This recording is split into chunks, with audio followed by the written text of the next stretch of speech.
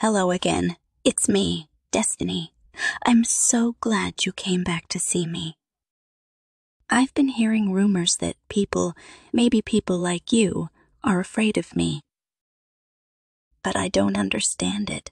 Do I look like someone you should be afraid of? Wouldn't you like to share your future with me? Wouldn't you like to hold me in your arms? I promise I will take care of you. Don't listen to the people who are afraid of me. With me beside you, I can make your life so much easier. I can give you time to relax, and I can make all of your dreams come true.